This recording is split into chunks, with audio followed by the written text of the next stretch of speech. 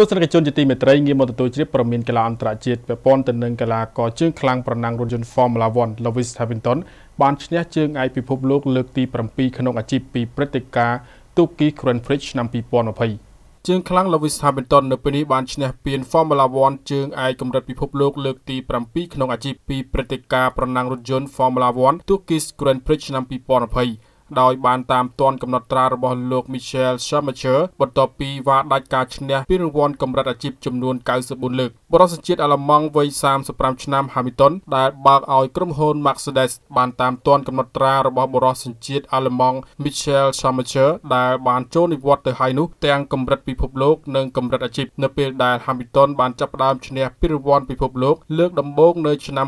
2008ដែលបើកឲ្យក្រុមហ៊ុន McLaren និងបន្តឈ្នះក្នុងឆ្នាំ2010 2014 2015 2017និងឆ្នាំ2019គួររំលឹកផងថា Hamilton បានចាប់ផ្ដើមអាជីពប្រណាំងរថយន្ត Formula 1នៅឆ្នាំ2007ជាមួយក្រុមប្រណាំង McLaren មុនផ្លាស់មកបើកឲ្យក្រុម Mercedes នៅឆ្នាំ2013ដល់បច្ចុប្បន្នដែលបានឈ្នះពានកម្រិតពិភពលោកចំនួន6លើក។